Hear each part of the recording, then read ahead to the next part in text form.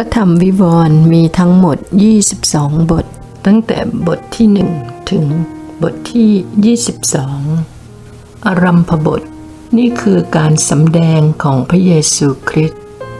ซึ่งพระเจ้าประทานแก่พระองค์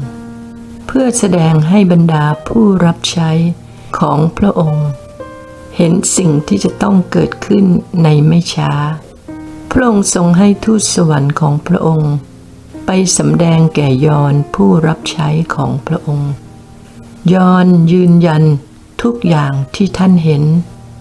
คือพระวจนะของพระเจ้า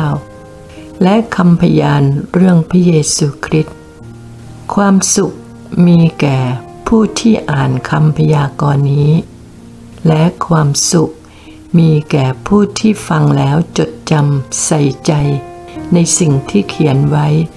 เพราะ เวลานั้นใกล้เข้ามาแล้ว